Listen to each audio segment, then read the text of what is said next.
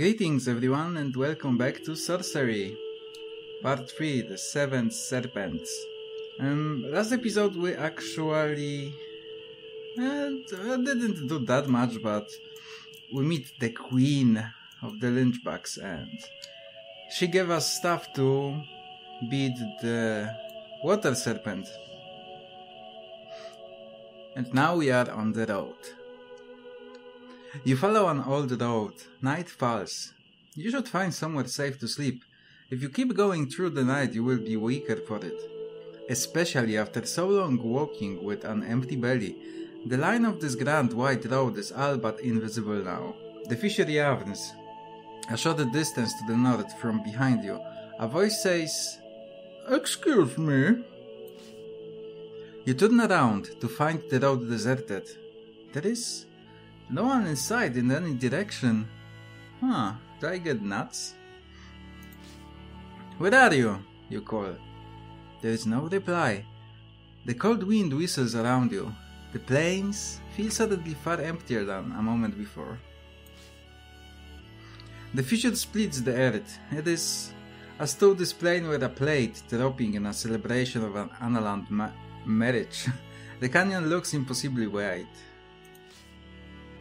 Looking east along the road, it continues across the plain for some way, towards the impossibly high mountains of the Baddu-Bak Ridge. You continue to walk through the dark. Hmm. I, I, I kind of expected to rest. This is the thing I'm wondering about this. Because I feel this. I seen there is few of those. Oh, here's another one. I think I seen there is one here. So I feel this is sort of important. That might be just like big telescope thing, maybe. You follow the old road. The moon moves slowly across the sky like a lightless eye. Away from the road on the northeast, the curious stone tower stands alone overlooking the canyon. Oh, this is a tower then. You leave the road and walk across the desolate plain. You approach the stone tower until you stand at its base. You walk around the tower, looking for a door, but find nothing. Perhaps it is simply hard to see in the dark. But feeling the surface, you do find something else. A glyph of some kind, attached into the stone. It is an almond shape, perhaps a teardrop, perhaps an eye. What if I use open lock spells? Hmm. But I can't use my magic so much. It's like I didn't even leave, leave the first zone and I use magic like five times. And if I only remember. Dope. This is the one. Took me a while to find this one. You craft the spell expecting the tower base to split and reveal some kind of secret door, but nothing happens. Perhaps there is simply no way inside. Oh man, I wasted one stamina. I could try how, but...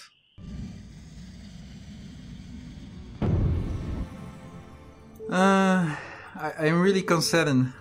But I don't want to waste any more of my stamina, so... Ah, okay, let's see. Reaching up to the stars, you create the magic, and steady voice begins to speak to you. It tells you there is no way inside the tower, only a way to reach its summit, but that's now it's not the right time, the voice fades. You are back by the base of the shadowy tower. Okay, so I waste two of my stamina for nothing. I guess we could try to rest because I need to rest. There is no shelter near the foot of the tower, but you find a spot on the leeward side to the corlap. Under your cloak, you have not yet eaten today, but you have no rations to ease your hunger. Ah, uh, that sucks. You lay back and try to forget your travels. Your dream quickly become nightmares. There is a rope around your neck, growing tired. The king of Analand stands before you, cursing you for your failure. You were sent for the crown, he curses, but instead you wandered the wilderness like a fool. You try to protest your innocence, but you cannot speak. You cannot even find words to breathe. You reach up to your throat and claw away the rope, to find it has swelled to be as thick as your arm, as though submerged under water. Then, one end of the rope splits and bites at your hand. It is no rope, but a snake. Your eyes fly open, a death spider snake is wrapped around your throat, breathing its miserable breath into your eyes. Wait, did I wake up? Is it Oh man, no, it is. I think I wake up that way. That, that this is in fact a snake. Okay, I didn't had a real fight in the wild actually. So I'm gonna try to play it safe.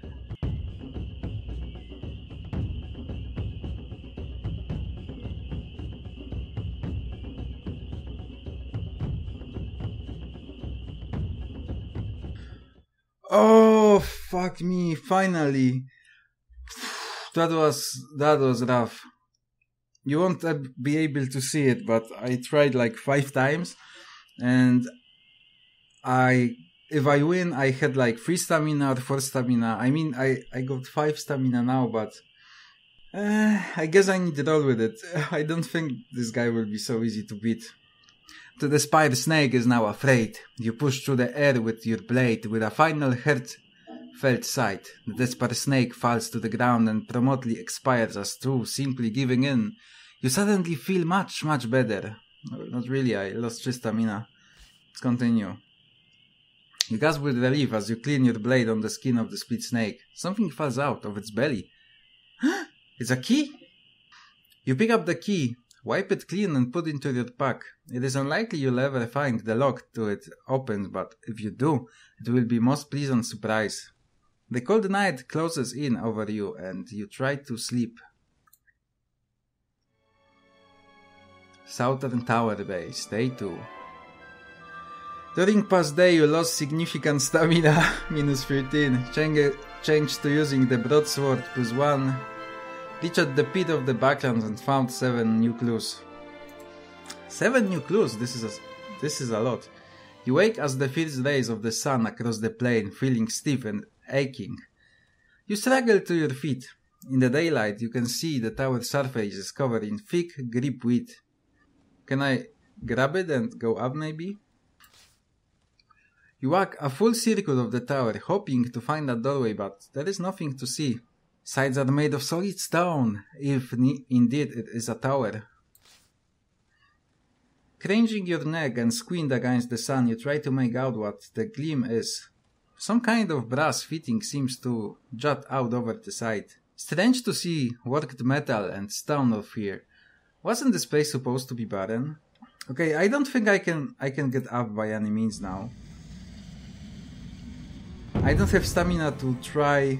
Oh man, this is it started so well. I had so much health, and now I'm I'm I don't. I can't really do anything here from what I see. Hi, maybe I could use big spell. Could this help me get up? Or is this tower too high? Let's try it, I guess. You wave the constellations into part around you, quickly swelling to the height of a tree. Shake the tower. Huh, that could that could do but I feel I need go up first. You stretch your arms around the tower and attempt to climb it up, but you cannot find a decent grip on the stone. Any cracks or indentation it might once have had are now far too small for your fingers to fit into. From here you have a much better view of the top of the tower, which seems to support a brass conception of some kind of long tube which rests on small well on the edge of the tower and presumably could be passed around its perimeter. It spells phase and you shrink. Damn it, another stamina wasted. Let's just go from here because I, I did nothing in this episode and I'm like 15 minutes in. You step away from the tower base, its mystery unsolved. The metal gleamed at its top, uninvestigated. South of here the old road runs from west to east across the plain. You have still not found Shadrak the hermit. If he lives out here, he must have shelter of some kind.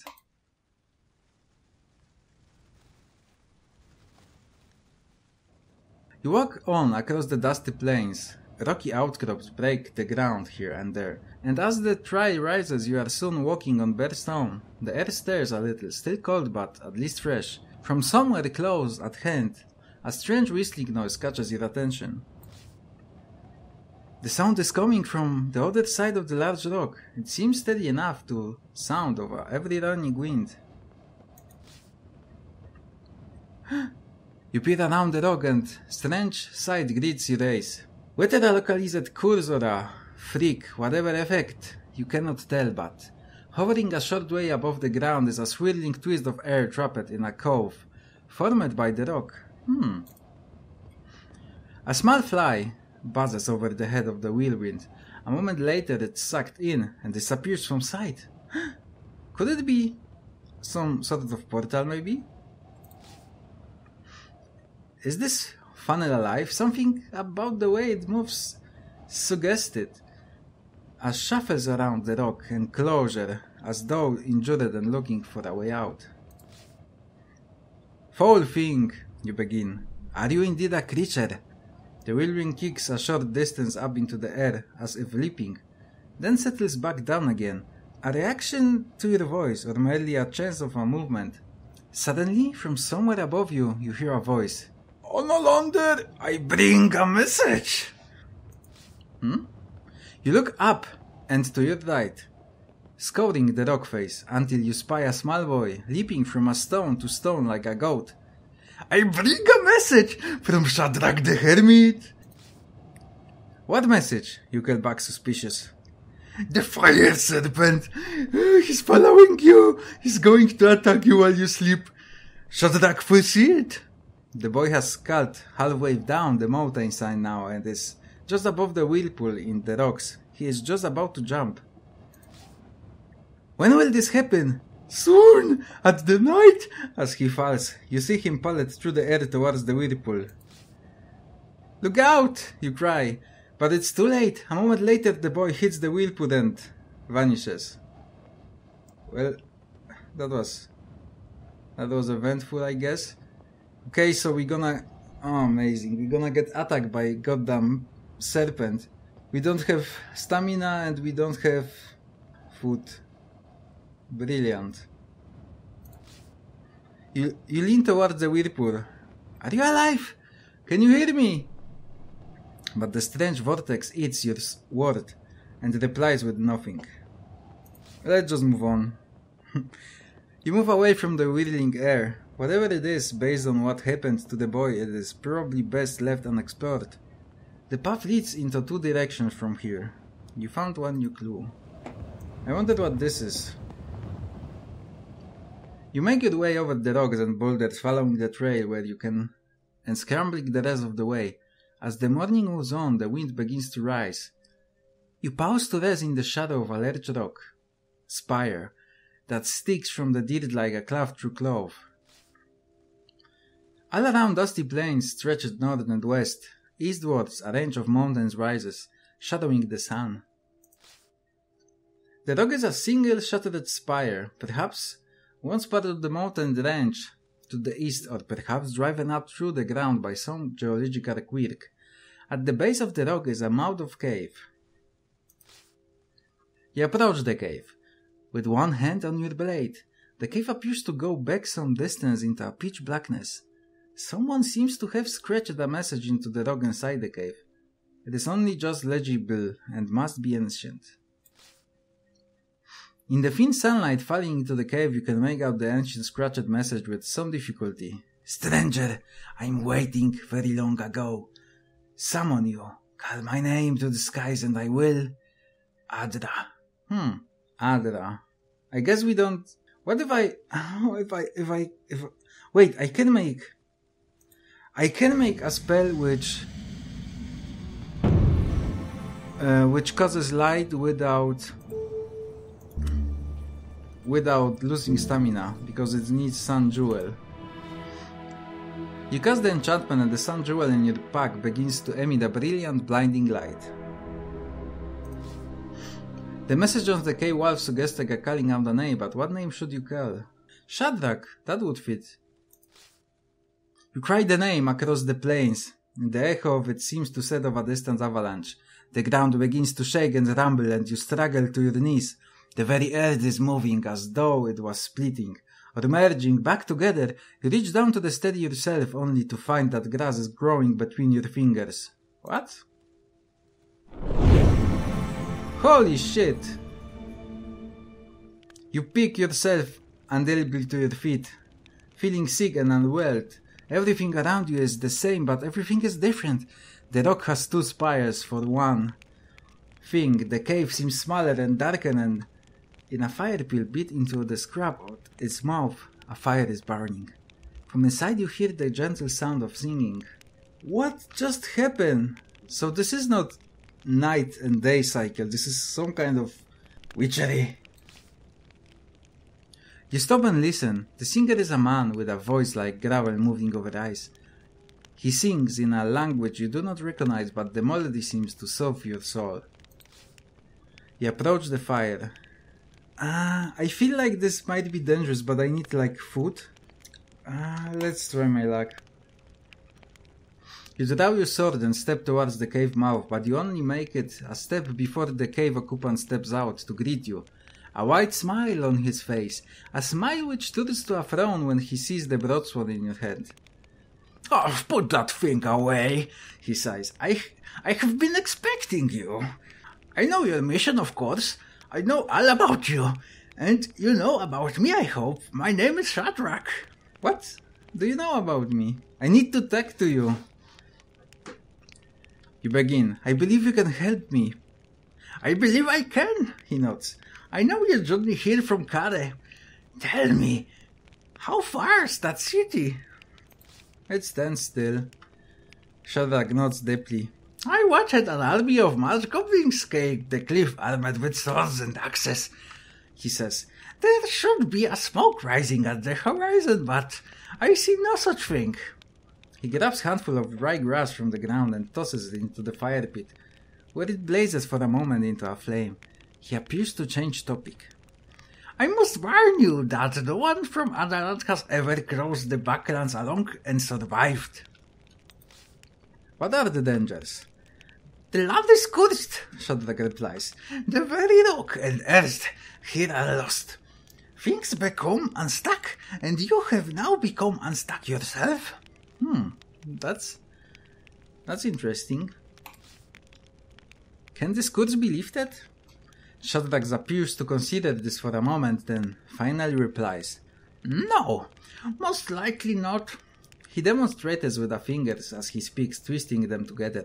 The old world and the ancient world have grown together like thorny bushes. The journey through is the journey through the other. This is sort of confusing. You take the serpent ring from your back and show it to Shadrak. Do you know what this is? You ask. Shadrak accepts this thoughtfully, turning the item over in his thick palm. I have never seen one, he says, but I would say it was a serpent ring. There are only two or three of these in this ancient world. Or just one. I going around and around, you can never be sure. So it's valuable, he nods. Most probably. Then he hands the ring back to you. Try the wizard of the mountain, he adds came from here through the trees. Unexpectedly, Shadrak stumbles. He smiles at the weekly. How did this curse come to be? The land was cursed by the Archmage to be forgotten, and so it has been. And so it will be. Not long now, and then all you see will be gone. Only timeless desolation will remain. But why? You demand. Because of you, Shadrak replies sharply. The Archmage punished the whole lot to make a trap to kill you before you could kill him. He is a dangerous enemy. He is quite desperate. Oh man, I can see that. So the Archmage knows I'm coming. He knows you will come. He does not know you are here now, but yet you must keep it that way, if you can. Shadrak is shivering slightly now. His face is pale behind the ruddy beard. What do you know of the seven serpents? You ask quickly, keen to learn what must while you can. The serpents are most terrible, Shadrak answers. I have often seen them, but There are no more snakes. Do you know of their legend? Tell me, Shadrak nods then, cows sharply. It is said that thousands of years from now, a few years ago, for you, perhaps the Archmage of Mampang fought as slave a mighty Hydra which dwelled in the caves of the High Xamen. So for Mabel, a foe was this creature that the Archmage took its seven heads back to Mampang, where he used his dark arts to resurrect them as seven winged serpents. They became his personal messengers, his assassins, his force into the dark places. I see. This is actually pretty interesting plot. How do I kill them though? Shadrak nods. A good question. Each serpent has a spirit of sustain that grants a great power, but also powerful weakness. Discover these weaknesses and you may be able to defeat the serpents. Shadrak cows and shivers. Friend, he murmurs, I wish I did not have to go, but I must. If you, I am too close to circle. He gets his stick and pushes himself up to his feet. Where are you going? I go to rest. He sighs happily. I will plant my feet into the earth and lift my arms as bridges and drink in the sunshine for as long as there is water in the soil. Soil? Time to live. He raises his arms to demonstrate loves, almost teets over the kitchens himself with the stick and begins to cough violently. There is, he woozes, not much time. But I have much to ask you, Shadrak nods. We will meet again. This is my intention at least. He waves hand at his cave. I have left one more thing for you in there. Travel well. Remember, when you walk through the fields of Ishtara, you are safe from the serpents. But if you do not return to your own time, you will never defeat them. Um, I kind of get it. How can I travel between these lands?